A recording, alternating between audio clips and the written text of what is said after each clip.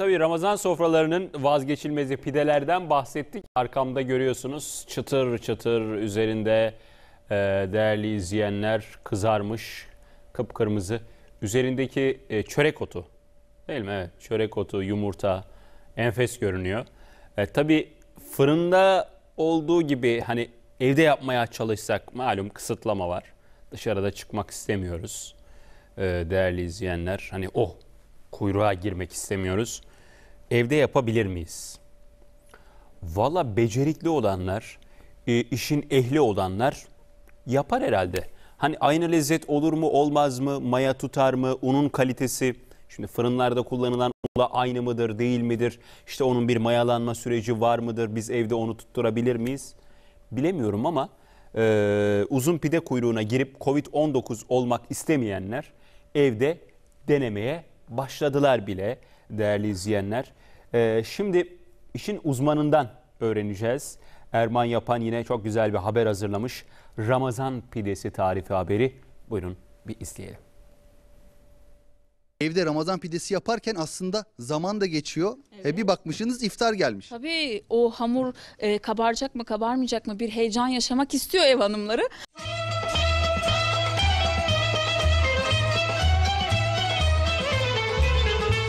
Pideler tanesi 5 lira biliyorsunuz. Aynen öyle büyük bir katkı ev ekonomisi için.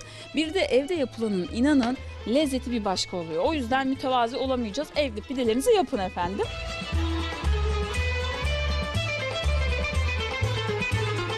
Malum Ramazan geldi ve iftar sofralarının da baş tacı hiç kuşkusuz Ramazan pideleri. Ama fırınların önünde uzun kuyruğa girip salgın riskini yaşamak istemiyorum diyorsanız evde Ramazan pidesi yapabilirsiniz.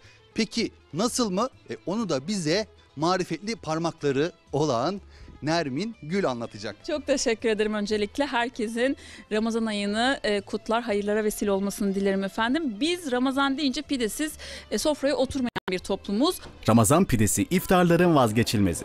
Evde hazırlanan Ramazan pideleri ise parmak ısırtan cinsten. Parmak dayanacak kadar böyle vurduğunuzda bir ılık kıvamı olması gerekiyor. Mayamızı aktifleştirmek için önce şekerimizi ilave ediyoruz. Bu kadar kolay.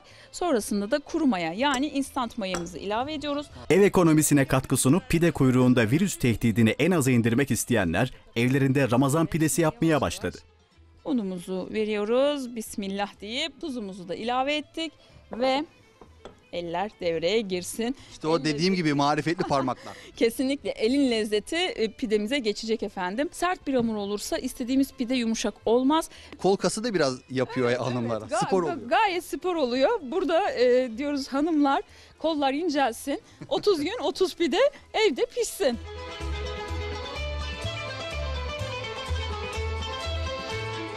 Daha önceden ısıtılan 200 derecelik fırına yollanan Ramazan pidesi geleneksel iftar sofrasının da adeta şahı. Yumurtalı, yoğurtlu, yağlı karışımı böyle güzelce sürsünler. Tuz mayayla yaptık. Fırıncı abilerimizin de genellikle yaptığı Öyle. aynı sistem. Aynen öyle. Misler gibi. Çörek otu şöyle kenarlara serpmek istiyorum. Burada orta rafa yerleştiriyoruz. Zemine mutlaka bir kase içerisinde suyunu bırakıyoruz ve buharı ile birlikte pidemizin harmanlanması için bekliyoruz efendim. Evde Ramazan pidesi yaptık ve Ramazan neydi? Sevgiydi, paylaşmaktı. İşte siz de evde yapmış olduğunuz bu Ramazan pidenizi komşularınızla paylaşırsanız Ramazan'ı daha da bereketli geçirebilirsiniz. Afiyet olsun. Daha fazla video izlemek için kanalımıza abone olabilir, ilk izleyen olmak isterseniz bildirimleri açabilirsiniz.